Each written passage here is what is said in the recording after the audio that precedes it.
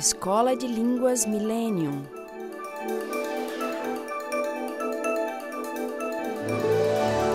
Proton Editora.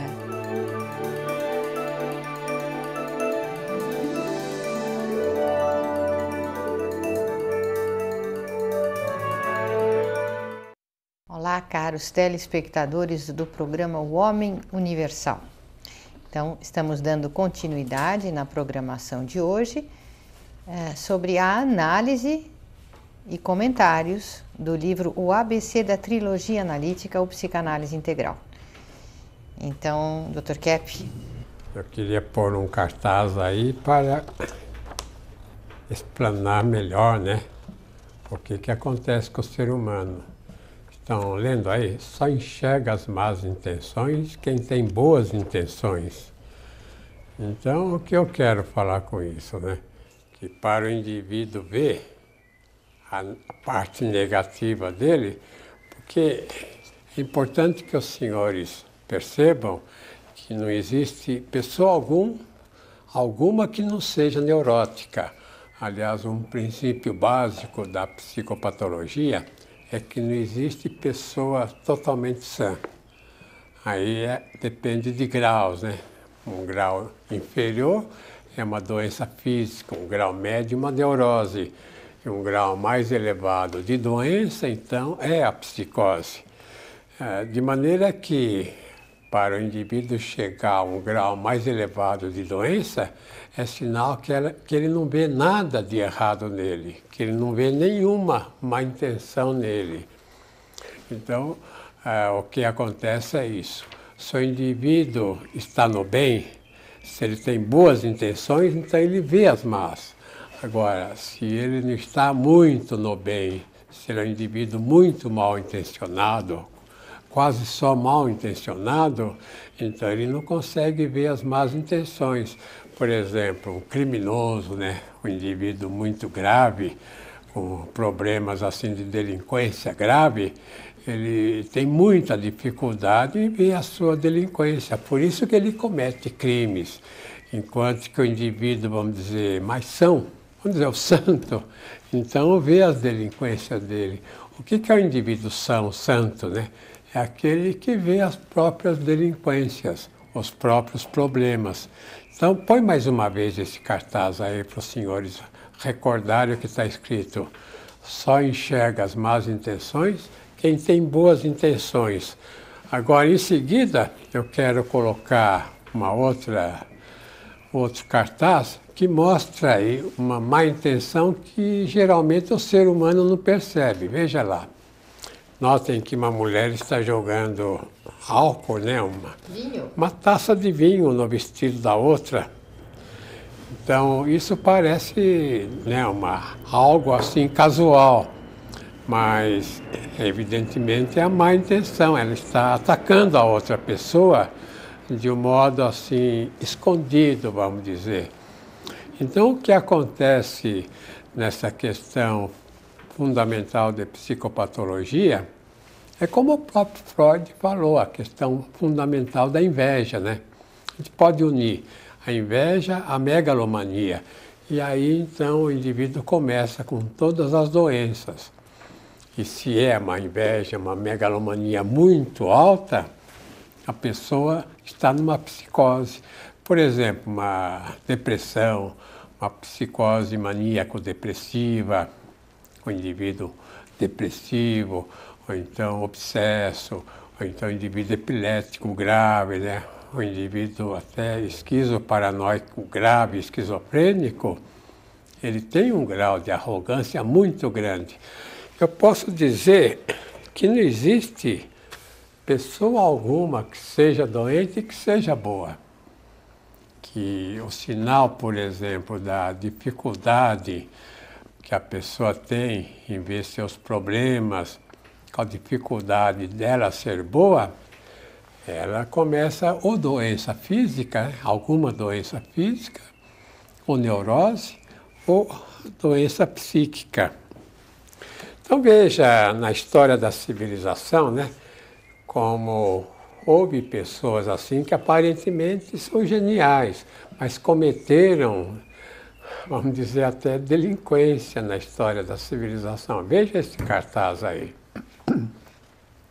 Adam Smith, ele colocou o capitalismo, né? A sociedade inglesa estava num grande desenvolvimento com as indústrias, porque a Revolução Industrial começou na Inglaterra. Inglaterra, Estados Unidos, depois foi para a Europa, para a Europa Central, para a Alemanha, a França, a Itália. Então, Adam Smith, quando começou essa grande revolução industrial, esse progresso incrível com as máquinas, que ia libertar o ser humano do trabalho, pelo menos o mais pesado, né? Acho que a pessoa prefere muito mais que as máquinas trabalhem para elas do que elas trabalharem. E o progresso industrial iria levar o ser humano a usar as máquinas para o trabalho em geral, né? Como deve acontecer nas regiões mais adiantadas, né? nas indústrias, nas empresas mais adiantadas. No entanto, Adam Smith aí colocou a questão do lucro, né? Do indivíduo usando o outro para o outro trabalhar para ele. Então, e aí começou o recesso da evolução industrial. A revolução industrial, que era tão bonita, aí parou. Então, quando a gente fala atualmente, por exemplo, a questão da globalização, né? O que, que seria a globalização? Então, a maior parte acha que a globalização é um processo de levar, vamos dizer, o progresso para toda a humanidade, né? E o que, que acontece na globalização é uma, mais uma mediocrização, porque o que, que, o que acontece é que as pessoas que têm muito poder assim capitalista, econômico, eles querem dominar o povo através de um estilo de vida muito medíocre. Então eles brecaram a civilização. Então, globalizar quer dizer nivelar por baixo, né? Senhores, vejam, Paris antigamente era uma cidade incrível, maravilhosa, Londres. Agora é uma cidade cheia de crimes, de briga, de dificuldade, de falta disso, falta daquilo. Então a, a globalização é um processo de, como Adam Smith fez, de brecar a civilização. Agora, gostaria de pôr um cartaz aí para elucidar melhor. Veja aí. Ah, tem um famoso pensador, né? ele é profeta, Salomão, né? que falou das vaidades das vaidades. Tudo é vaidade, né? Isso no Eclesiastes, na Bíblia, né? Ele era um profeta judaico, então ele mostrou que o ser humano, o principal problema é a vaidade, que o ser humano faz tudo para a vaidade dele. E veja, hein? Isso foi muito antes até de Cristo, do cristianismo. Depois eu pus lá, veja em seguida, corrupção das corrupções, tudo é corrupção. Então, é, por que, que o ser humano vive na corrupção? Né? O que, que é corrupção? O que, que é uma delinquência? O que, que é uma doença? Veja em seguida no cartaz que o indivíduo tem amor pelo dinheiro e não pelo trabalho. Se o indivíduo coloca o dinheiro acima do trabalho, se ele não vai trabalhar por causa do trabalho, mas por causa, vamos dizer, só do dinheiro que ele vai ganhar, ele é um indivíduo corrupto. O que dá mesmo honestidade para a pessoa, valor, é o trabalho que ela pratica. Então eu quero dizer o seguinte, né, que o ser humano ele foi colocado neste mundo, quer dizer, nós vivemos para fazer aqui, vamos dizer, o reino, né? O reino de Deus para o ser humano. Daquela oração do Pai Nosso, né? Ah, seja feita a vontade dele lá como é feita aqui. E que venha para nós o reino dele. Essa é a função do ser humano. O ser humano foi colocado no mundo para fazer aqui um reino divino, vamos dizer, material, um reino divino, é, como o mundo é. Então, essa questão que muitos têm de achar que aqui tem que ser pobre é contra, vamos dizer, é uma corrupção, é contra o bem, é contra a virtude.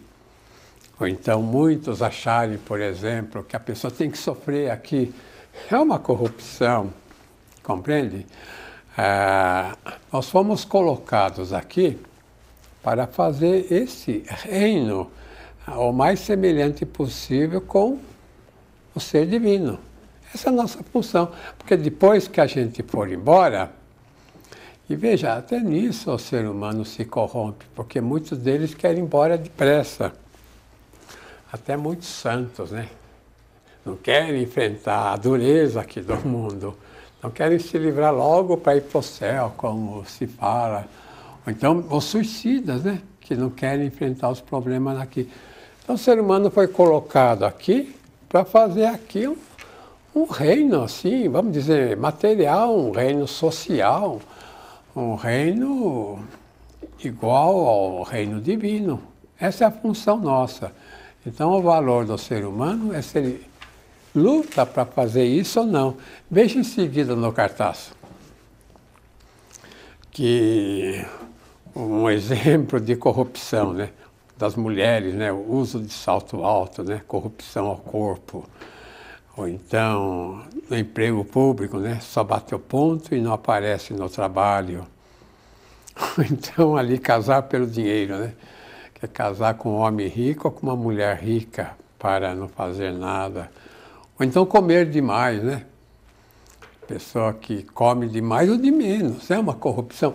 Agora, veja, gente, cada dia, cada semana, cada ano, o ser humano quantas corrupções comete. Vamos ver lá o, o restante do cartaz.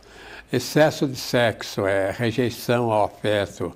Depois o amor desbragado pelo dinheiro, que é também uma corrupção.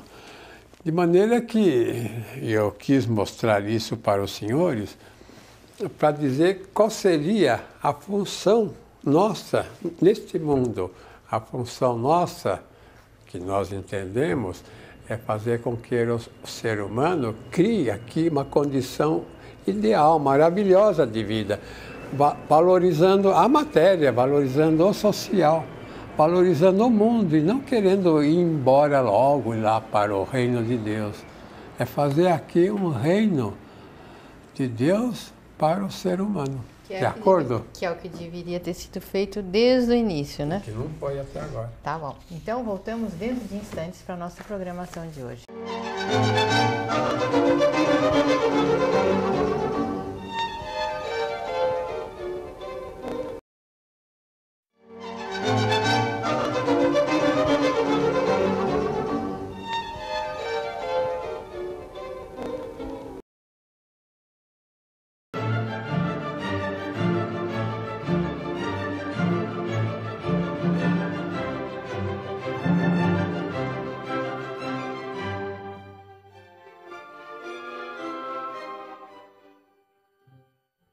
trilogia analítica, o amor é o primeiro dos elementos do ser humano, do triângulo humano, do sentimento, pensamento e ação bonita, que é a estética. Então, o amor é a base de tudo. Para Kep, a energia do amor é a que gera, inclusive, o verdadeiro pensamento. E só o amor porque o amor é o único sentimento verdadeiro que existe no ser humano. Sentimentos ou pseudo-sentimentos como tristeza, raiva, são emoções, são mais atitudes patológicas que atrapalham o verdadeiro e único sentimento que é o amor. Em Nova York, uma vez eu dei uma conferência a respeito do hormônio do amor, querendo dizer que na nossa farmácia interior os sentimentos de amor, eles têm um poder fantástico de curar as pessoas, porque é o sentimento de afeto que propicia uma energética equilibrada. Mesmo ele elicia a produção de substâncias que são totalmente favoráveis à nossa psicoimunologia. Portanto, é, esse sentimento não pode ser confundido com a libido, com amor sexual, paixão sexual.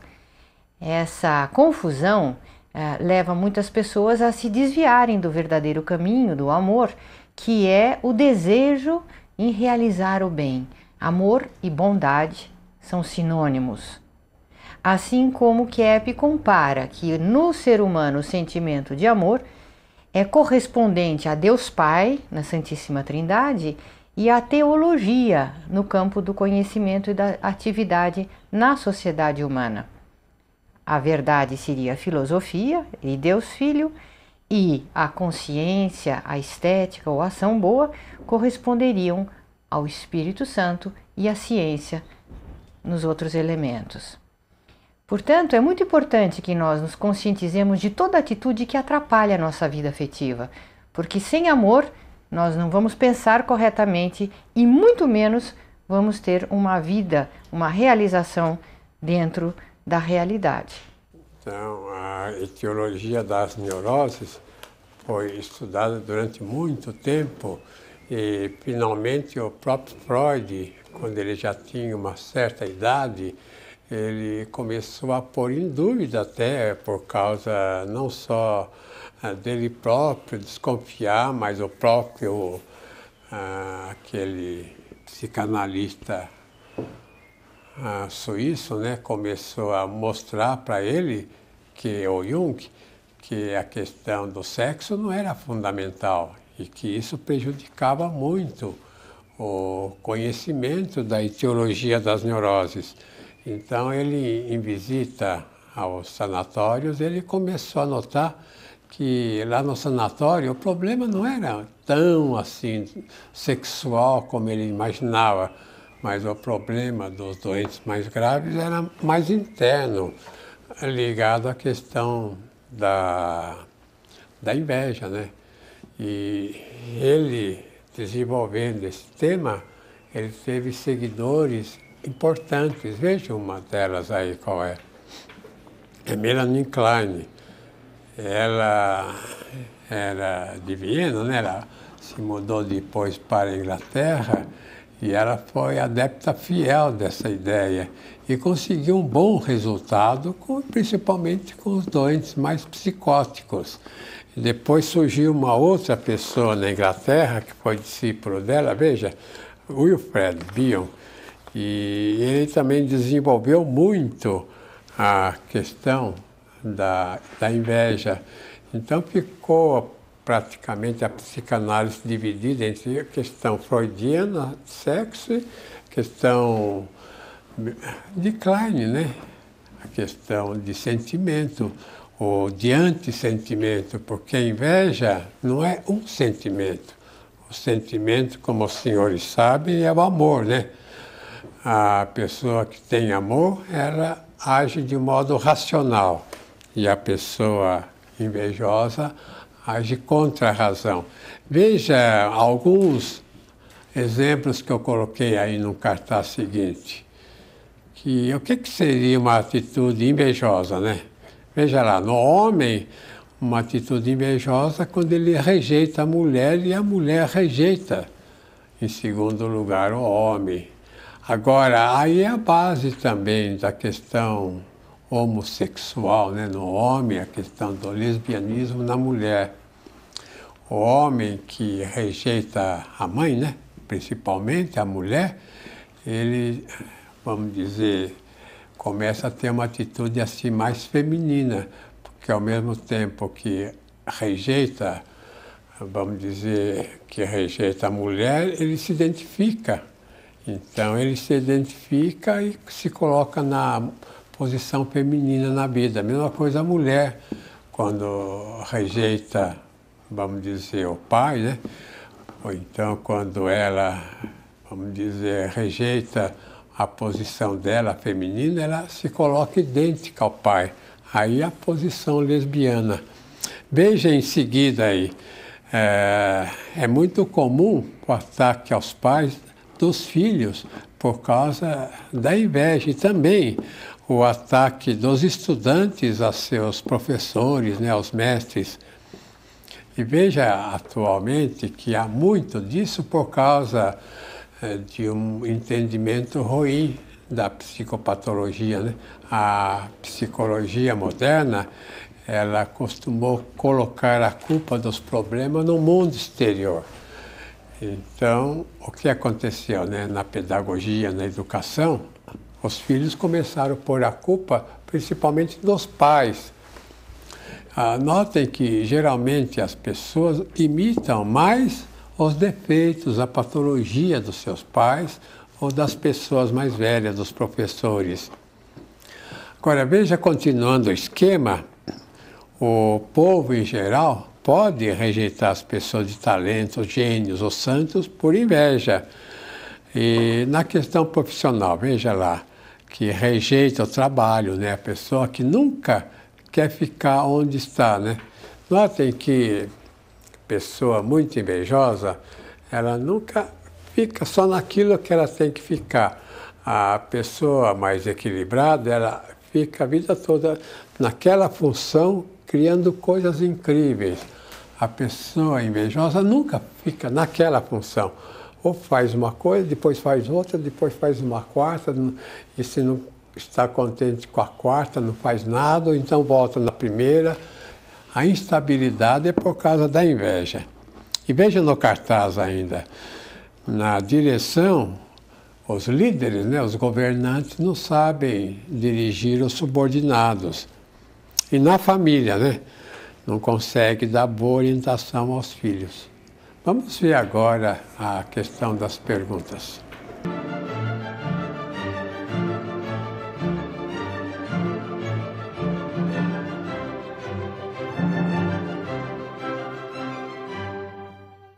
O amor para o Dr. Norberto Kepp é o, a base de tudo, o fundamento do próprio conhecimento.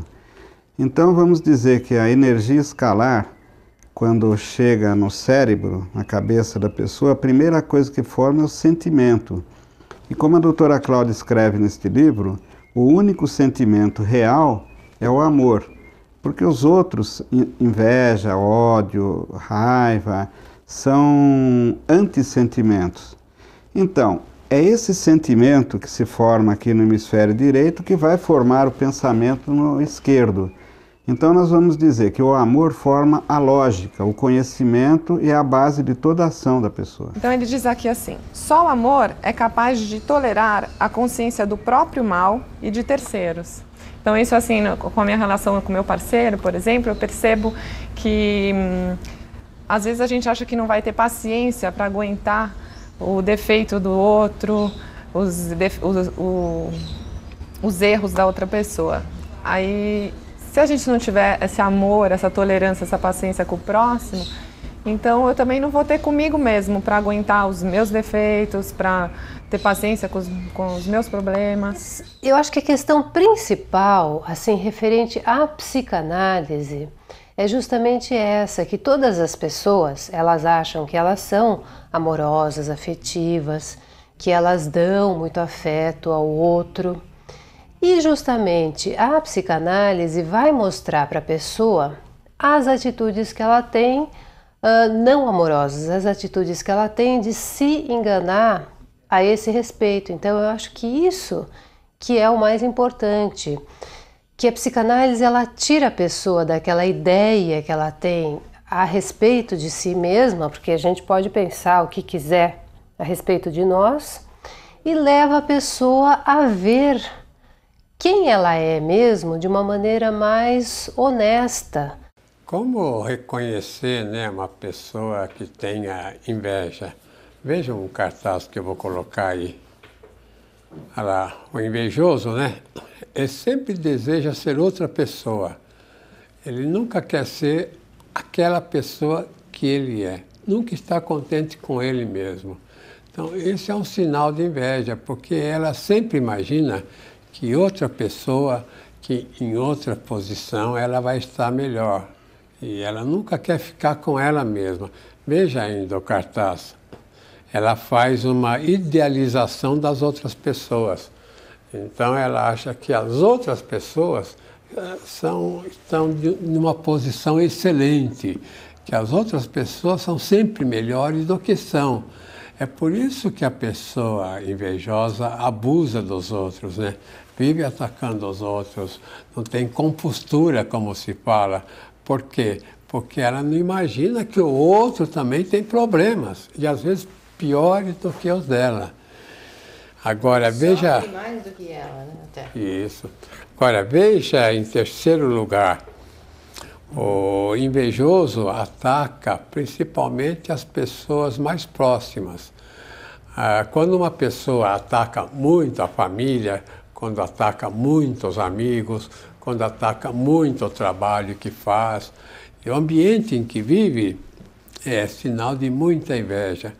É, geralmente a pessoa invejosa acha que os que estão longe, né? longe do, do campo de visão, do campo de vida que ela tem, são excelentes.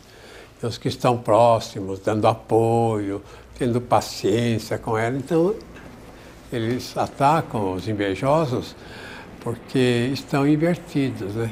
É um modo de reconhecer uma pessoa invejosa. Voltamos já.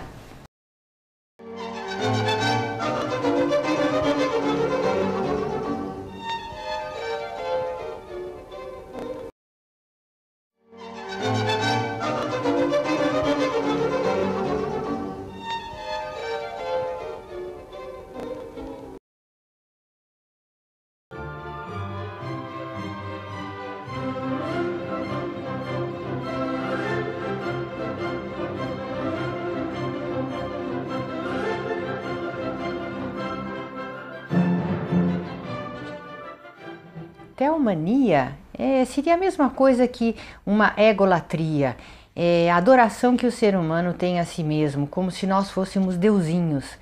Então, isso na nossa vida prática é muito fácil de perceber que nós temos a ideia de que a vida tem que se adaptar a nós, que nós queremos uma vida de acordo com o que a gente imagina.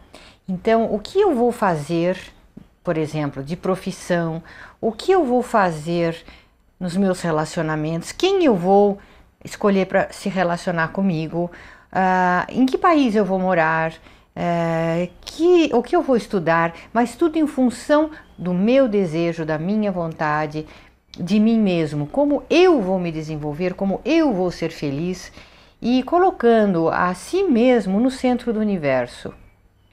Isso uh, não deixa de provocar uma tensão violenta dentro de nós porque nós somos confrontados diariamente com a realidade de que não somos não é a vida que tem que se adaptar a nós, mas somos nós que temos que nos adaptar à realidade, à vida, se nós queremos viver com saúde, queremos realizar alguma coisa, né? Inclusive, esse problema de teomania, que na mulher é muito o narcisismo, né? E no homem, essa megalomania social, ele proporciona ou leva a pessoa a um sentimento muito forte de insegurança, de censura em perceber os seus erros e suas deficiências. Até uma certa autorreferência, não é? Que todas as pessoas, por exemplo, estão olhando para mim, estão reparando em mim, estão vendo no que eu erro, estão vendo se eu estou mal vestido, se eu estou bem vestido, se eu estou me desenvolvendo dessa ou determinada forma, como eu estou me comportando, se a minha máscara está boa. Então, esse sentido de aceitação social, que é tão importante para o ser humano, não deixa de estar diretamente relacionado a essa teomania.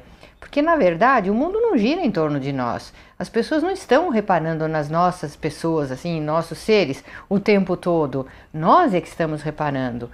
E essa tensão interna, ela pode muito ser aliviada se a pessoa percebe esse problema de teomania. Inclusive, né, eh, se nós aceitarmos o nosso verdadeiro ser, aí sim é que nossas verdadeiras qualidades poderão aflorar. Quando nós colocamos aí, por exemplo, uma figura assim conhecida, como essa que eu vou colocar agora, né, Friedrich Nietzsche, é, então eu coloquei aí para mostrar como uma pessoa de grande talento, porque ele tinha realmente um bom talento para a filosofia, mas ele era muito invertido. Por isso que ele pereceu tão cedo no sanatório. Então, o que, que o Nietzsche falou de tão prejudicial para a humanidade, né? Ele chegou a dizer que o sim era igual ao não. como aliás a filosofia platônica sempre falou. E falou pior ainda, que a saúde era a mesma coisa que a doença, e que até a doença poderia levar à saúde, quer dizer, que o mal poderia levar ao bem. E daí esse grande engano né, na civilização germânica, lá na Alemanha, que muitos deram atenção a essa orientação tão errônea dele. O senhor está falando do Nietzsche logo depois do nosso comentário a respeito de teomania, né? Isso. Eu acho que um dos pensadores mais teomânicos da nossa civilização é o Nietzsche, Friedrich Nietzsche. É, e ele fez questão de seguir Zoroastro, né? que era aquele primeiro fundador de uma sociedade religiosa lá na Pérsia, em que ele colocava dois princípios eternos no mundo, o princípio do bem em Deus e o princípio do mal, que era o Lúcifer, dizendo que Deus criou a parte espiritual, a alma, e o Lúcifer criou a parte material. E não que ambos, né, é, que tanto a parte espiritual como a material pertence ao mesmo Criador, pertence ao mesmo Deus e que nós temos que cuidar não só da parte espiritual, como da parte material. E ver a parte material inserida na espiritual, né? Quer dizer, esse tempo e espaço já inseridos, assim, imersos na eternidade. Quer dizer, a gente já está na eternidade agora. Então a gente teria que viver agora, já de acordo com essa vida eterna.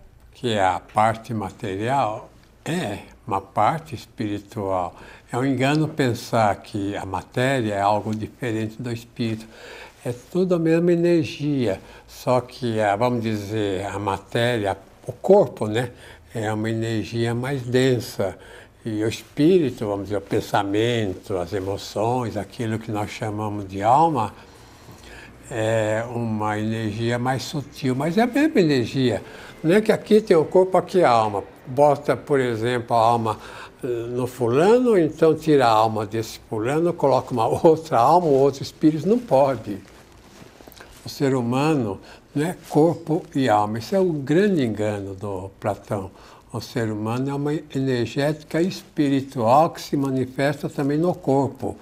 Logo, o corpo, tudo o que existe que nós chamamos de material, é espiritual também, porque tudo que Deus criou é divino, é espiritual. Então, mostro, eu vou mostrar aí um outro cartaz para esclarecer essa questão da inveja e delírio. Veja lá em cima, né? Que a inveja é, é praticamente a mesma coisa que o delírio. E a projeção que o indivíduo faz, vendo no outro a causa de seus problemas, o outro como sendo melhor, é uma idealização. Então, o que acontece, né? Veja de baixo para cima que se a inveja é muito forte, ela é muito doente. E se a inveja é mais fraca, como lá embaixo está, ela é menos doente. Então, no que aconteceu na história da civilização, alguns autores de fama incrível, como esse que eu vou mostrar agora, Roger Bacon, ele tentou colocar a filosofia no outro campo, colocando a filosofia mais na questão da vontade, né? na questão da vontade do ser humano. E com isso ele desviou a filosofia anglo-saxônica, tirando do raciocínio certo. Daí os grandes prejuízos que a humanidade teve, né? A Inglaterra, que quando conquistava uma, um país, né, tinha uma colônia, atacava lá os colonos, tinha mão de ferro em cima daquele país, e também os outros países que conquistavam os outros, seja um pouco menos a França talvez, mas a Holanda, a Bélgica, eh, eram países que tratavam as colônias com mão de ferro por causa dessa filosofia invertida, a ponto de achar que, por exemplo, os índios eram seres sem alma quer dizer, que os índios não viriam de Deus, que os índios seriam animais, mais animais ou só animais. Vamos ver agora as perguntas.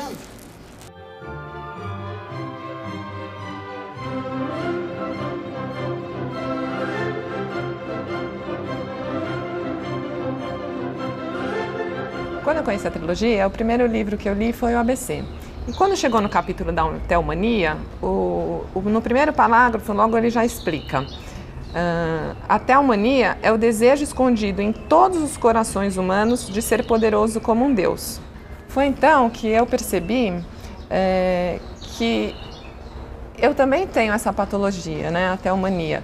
É, você acaba se achando tão perfeito que você não se inclui nos exemplos dados no livro. Quando ele fala da inveja, de outras patologias, fala, é, realmente o ser humano é invejoso, mas não me incluindo como tal.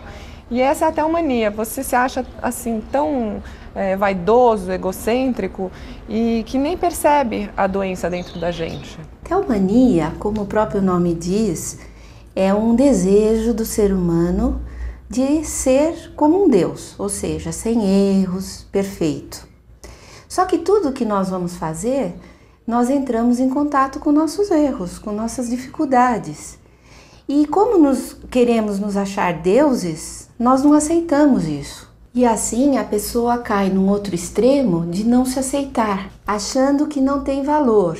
Mas na verdade, o que ela não aceita é se ver imperfeita como todo mundo. Psiquiatras alemães notaram que a causa da doença mental seriam as manias de grandeza. E o Dr. Kepp deu a essas manias de grandeza o nome de teomania, porque é um desejo mesmo da pessoa ser um deus.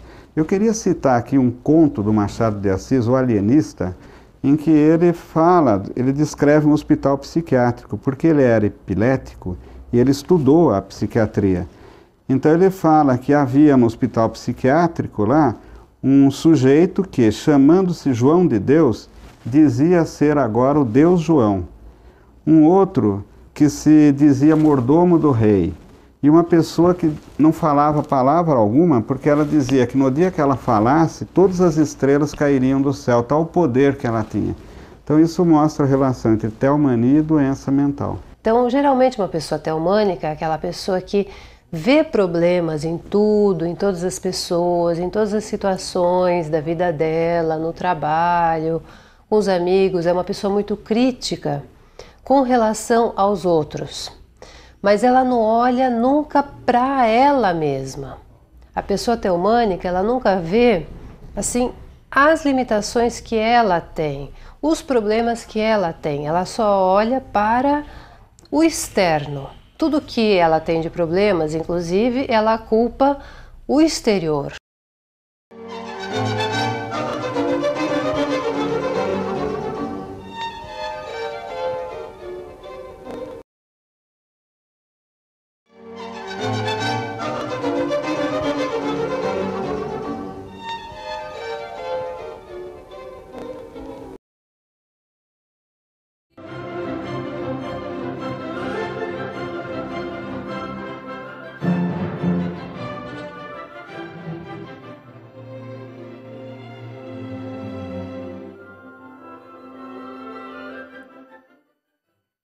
Kepp, na sua análise uh, integral, né, ele considera desde o início o aspecto da transcendência como fundamental para a sanidade da pessoa. Uma psicoterapia que não considera a espiritualidade a transcendência do indivíduo está fadada ao insucesso, ela é muito incompleta, não funciona. Então, já desde o começo em Viena, Kepp trata e fez uma tese sobre a transconsciência, o transconsciente e os transtipos. Essa influência que os filósofos existencialistas exerceram em Kepp foi muito grande, além, evidentemente, do seu estudo de metafísica, porque quando Kepp estuda o ser humano, ele se baseia em grande parte no estudo da metafísica que ele fez no, nos seus primeiros estudos, inclusive na teologia, na filosofia.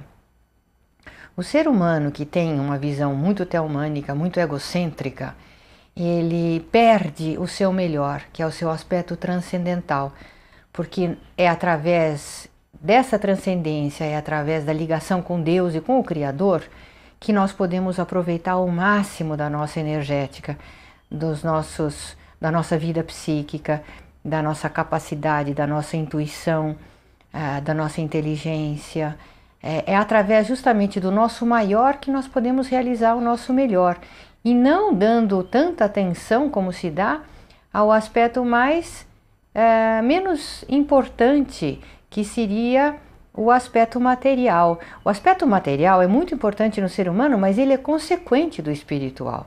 Então, nós só podemos ter uma saúde física, um equilíbrio orgânico, se o nosso aspecto espiritual transcendental estiver sendo cuidado, aceito, conscientizado. Eu poderia até acrescentar que a física ela só funciona com a metafísica. Kepp demonstra isso no seu livro A Nova Física da Metafísica Desinvertida, onde ele mostra que a verdadeira física é a teologia mais perfeita. Quer dizer, nós que já decaímos de um aspecto mais elevado, né, de compreensão da transcendência, agora nós nos utilizamos da verdadeira física para poder entender o que é a verdadeira teologia. E esse trabalho na, na, na obra de Kepp é absolutamente transcendental. E eu vou colocar uma sentença para esclarecer o que nós temos que falar com os senhores. Veja lá. Só a pessoa que aceita o bem vê o mal que tem. Até rimou, né? Isso, doutor Kepp, eu queria relembrar o assunto que estava sendo discutido no, no módulo anterior, a respeito da inveja. Eu estava falando a respeito do indivíduo invejoso.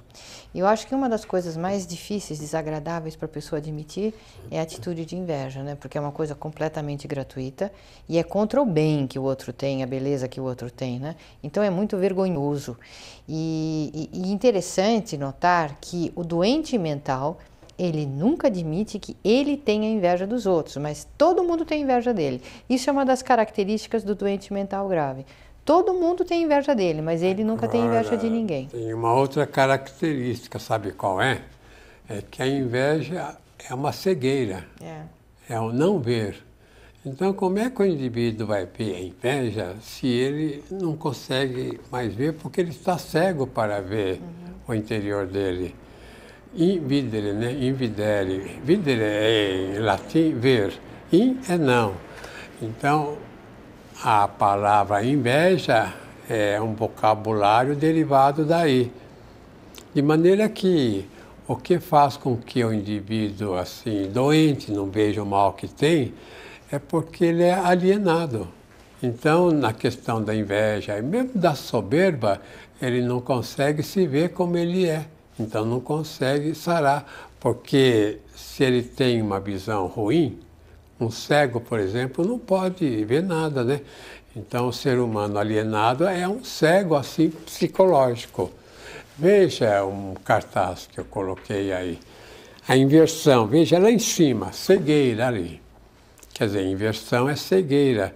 Então, o que, que é a cegueira, né?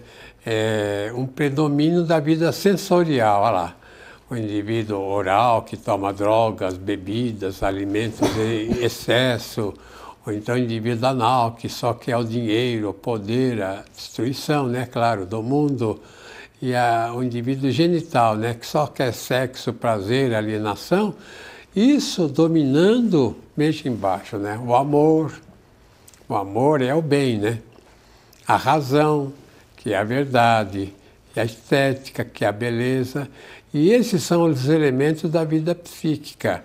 Se os elementos da vida sensorial lá em cima destroem os elementos psicológicos, então é claro que o indivíduo é doente. Como distinguir né, uma conduta doente de outra sã? Vamos dizer assim, comumente na vida social, eu vou dar uns exemplos aí. Veja, condutas que eu pus assim indecentes, né? Não pagar o que é justo para outra pessoa, ou então trapacear, né, uma pessoa dependente, né? Se o indivíduo não paga aquilo que o outro merece, está tendo uma atitude injusta, está tendo uma atitude indecente. E o Freud colocava mais a problemática na questão de sexo. Por isso que, em grande parte, a psicanálise tradicional freudiana foi rejeitada em alguns países, como a Alemanha rejeitou, a própria França rejeitou em grande parte, uh, outros países rejeitaram por causa disso, porque foi vista assim através de Freud uma visão muito parcial do ser humano. Veja novamente no cartaz. Cuidar só dos próprios interesses, né? É um puro egocentrismo, o indivíduo que olha só para si próprio, né? Como se não houvesse mundo. Essa é uma questão indecente. Por quê? Porque mostra que o ser humano só se volta para o interesse dele. Se ele só se vê a si mesmo, sem olhar para o mundo, ele está sobrando neste mundo, na civilização humana. O ser humano, como falei no início do programa, foi posto aqui para fazer o reino divino, compreende? Porque se ele não fizer aqui o que deve fazer, que é isso, então ele sobrou na vida. Ele vem fazer o quê, né? Porque depois que ele for embora, ele não terá mais chance de fazer mais nada. Lá ele não pode fazer mais nada porque lá é reino do. É o reino divino, né? É o reino do Todo-Poderoso. Agora, veja novamente no cartaz. O indivíduo que mostra a cara emburrada eternamente, né? Ele, com isso, aborrece muito os outros. Os senhores já notaram, o indivíduo sempre picudo, né? Com a cara fechada, que companhia aborrecida que ele é, né? Isso é uma atitude que eu chamo indecente também. E depois não sabe por que está sozinho, né? É. Em quarto lugar, bancar o surdinho, né? Não querer ouvir o que o outro fala. Ou tem que falar sempre duas, três vezes, ele nunca entende. É muito aborrecido, né? Uma pessoa assim. Quinto lugar, não ver o que se passa ou então a pessoa que fala muito baixo, Dr. Kepp. Tem pessoas que fazem questão de falar ba baixo ou pronunciar mal as palavras. Então, não se querem fazer entender. Isso. Vamos ver as perguntas agora.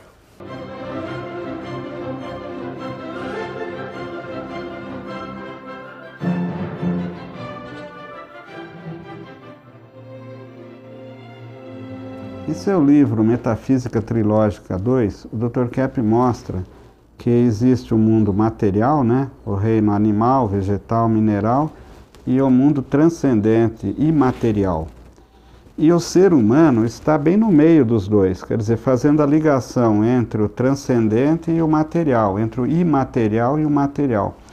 Essa seria a nossa função, trazer a energia da transcendência para o mundo material. Só que o ser humano, quando ele se recusa a fazer isso, então ele cai nas doenças. Quando a gente não tem consciência da transcendência, acredito que a gente acaba desperdiçando a nossa existência, jogando a nossa vida fora. Porque, por exemplo, a criança, ela tem intuição, percepção.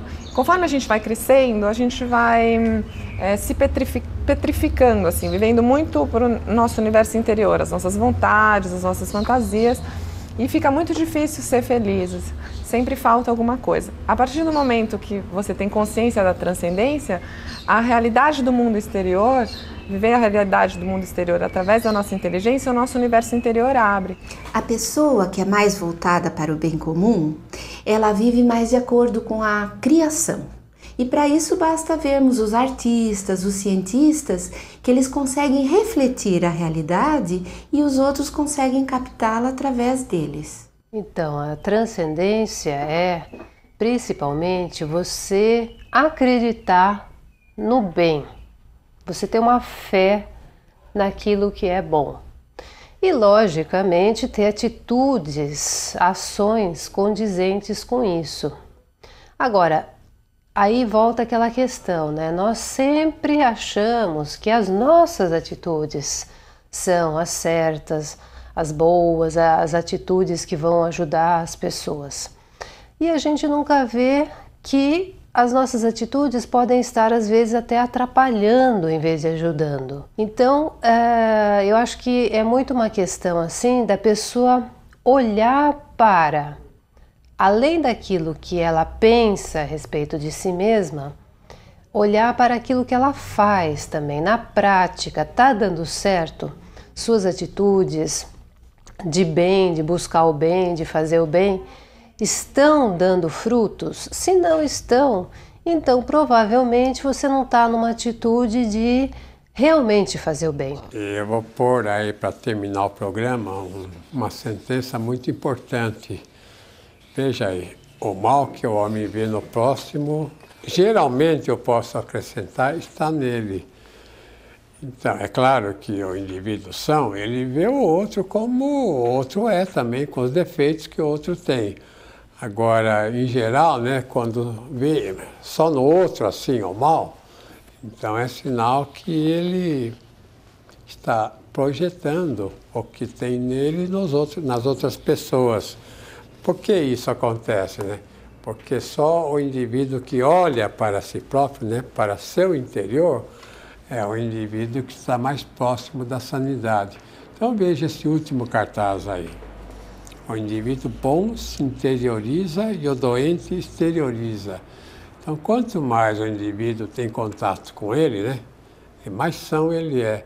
Quanto mais ele é voltado para fora, voltado para fora quer dizer, ele quer prazeres no mundo exterior, ele acha que o bem-estar vem de fora, que tudo vem de fora, mais doente ele é e mais insatisfeito, portanto, e mais voltado para si próprio, para seu interior, ele é mais feliz e mais são. Então, até, Até. a próxima.